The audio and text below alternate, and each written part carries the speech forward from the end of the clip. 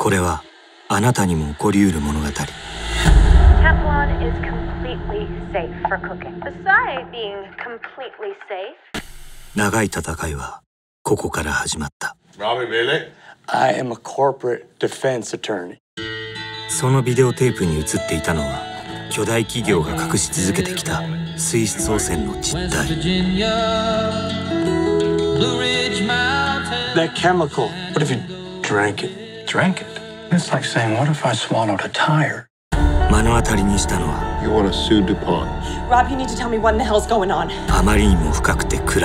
Then he'd get sick for weeks. A Teflon flu, the guys would call it. She gave birth to a baby with one nostril and a deformed eye. Not enough to poison these people, they gotta swindle them too. Not the companies, not the scientists, not the government. We protect us. We do. 失えば真実に光を当てられるのか。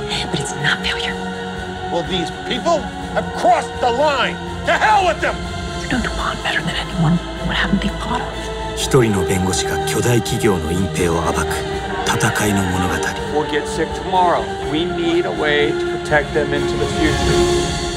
ダークウォーターズ巨大企業が恐れた男。